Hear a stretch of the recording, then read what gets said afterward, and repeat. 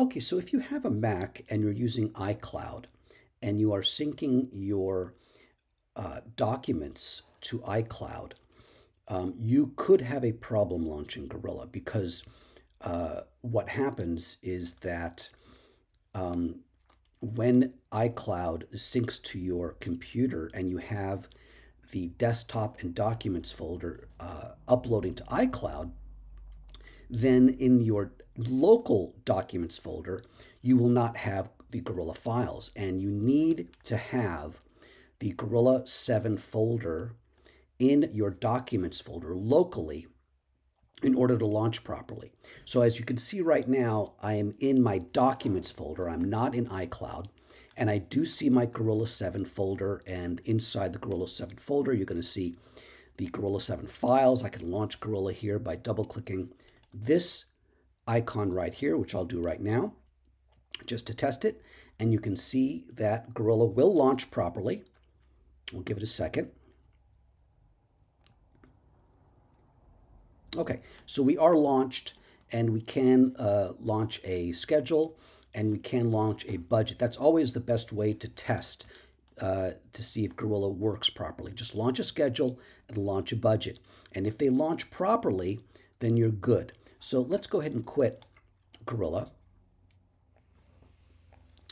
And what I'm going to do now is I'm going to go into uh, System Settings, and I'm going to click on my ID, and I'm going to click on the iCloud option, and then I'm going to click on iCloud Drive. Now it is on, which is fine. There's nothing wrong with that.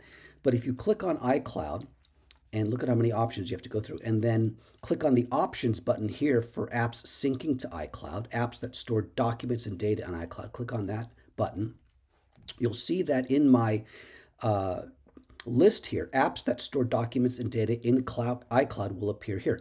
Notice that my desktop and documents folder is not checked. Now, by default, I believe this is not checked.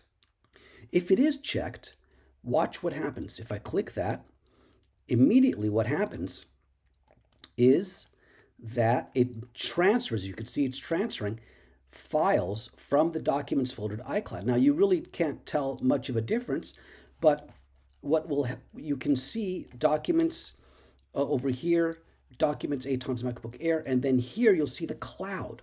Okay. Now if you see the cloud, that is telling you that these files. See, this is uh, uh, uploading now to iCloud. So if I launch Gorilla now, now it might and might not launch. Notice that it's still kind of copying. Do you see that? How it's not completely done there? It's sort. It's uh, if I click out of here, you can see the little pie, it's going to take a while. Now, once that's complete, it really it removes your files from the documents folder and puts them in the iCloud. You can't launch Gorilla. It won't work. Now, I can try now because it's in, in interim. I don't even know if that's uh, really the good thing to do. But notice that, number one, you change the, uh, the file structure here, which is another thing that Gorilla will not allow. If the file structure says documents and then documents Aton's MacBook Air, that's my, my name, and then you have the files here, you won't be able to save, you won't be able to load okay? This whole file structure is not going to work with Gorilla. Another way to launch Gorilla is go by applications, and you could see Gorilla here. Let's try that. I don't think this is going to work, but let's go ahead and give it a shot. Again, we're in interim. If I launch Gorilla here, ah, you see what happens? It did not launch. It opens FileMaker Pro, which is the back end to Gorilla, and it doesn't know what to do because the files are no longer in documents. It's looking uh, uh, notice actually the, the path here. It says users Aton MacBook Air documents Gorilla 7 Launch Gorilla. The files aren't there. So it's not going to work. So if I close that, quit FileMaker Pro here for a second, let's go back and deselect this, turn off, okay, and done. And uh, let's go back here to my documents and let's see if it comes back here because right now, I don't even know if it'll download properly. I might have uh, have to download it before, unfortunately. But um, yeah, see, they're still here. So if I, okay, if I click this, let's see here.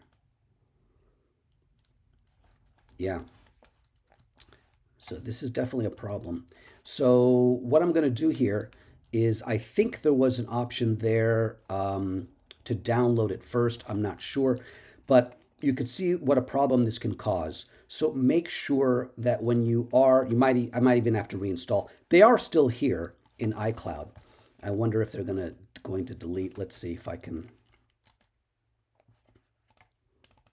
double click maybe. Let me see if I double click this, what happens. Okay, it is launching, but I don't know if it's launching in iCloud or not. We shall see in a minute. Okay, so it did launch, but I believe that it's still in iCloud here. It might be transferring. And if we go to documents, it's still not there. We need to have the files and documents. So please make sure that if you're going to use iCloud, that number one, you do not go back into iCloud options. You do not use this option, desktop and documents folders. Or if you do, every time you launch Gorilla, you have to make sure, and it's not really a big deal, but you have to make sure to download those files into your documents folder, launch Gorilla, and then if you want to upload back again to iCloud, you can do that. And also, if you turn it off like I did, I uh, believe there was an option, I went really fast there, but I believe there was an option that said first, download your documents, which I don't think I did. And that's why they're, they're not here. So that is a very important thing to, uh, to remember uh, if you're using iCloud with Gorilla, that uh, you cannot use the desktop and documents folder option because Gorilla must have the files in the documents folder. When you install, if I were to install again, even though I see Gorilla here, this is the application, but it, does, it doesn't know what, to, what files to launch. That's why it launched FileMaker Pro. You go here to documents and they're not there. Okay, I hope that helped. And uh, if you have any questions, please chat us or email us. Thank you. I wanted to do a quick addendum to the uh, video that I just did about uh, documents. I realized that, of course, if you go to the iCloud Drive and um, you'll see them here, if you were to uh, take this folder here and just drag it down to the desktop, it will ask you, are you sure you want to remove Gorilla 7 from iCloud Drive? This item will be moved to this Mac and no longer be available in iCloud Drive or any of your devices. Click on Move and you have the file here. These are the files that are needed. And then if I go to my local documents, notice the difference here. This is iCloud Drive documents. So that's an iCloud and then documents and then just drag it over to there. And now, remember before I couldn't launch, it didn't work. If I go to applications, again, you could launch either from here, the Gorilla 7, or from here. Now I'm going to do it from here because that's what I did last time and it didn't launch. So let's go ahead and give that a test. And it looks like it's launching. Okay, so I was correct in my assumption that the, um, yeah, it's launching no problem. Okay, very good. So we're going to quit Gorilla now. So I was correct in my assumption in that the files were still in the documents. I notice they're not here anymore. Uh, these you don't have to worry about. These are your saved files. So if you want these, then definitely bring those down also. Um, but I don't think I have anything in there. But uh, so that's fine.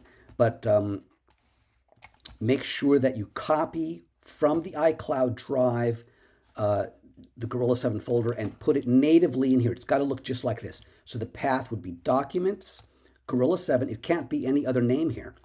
And then Gorilla 7.15 or 7.2 or 7.3 or whatever the version is, and then these folders here. It must be in that path. Okay, great.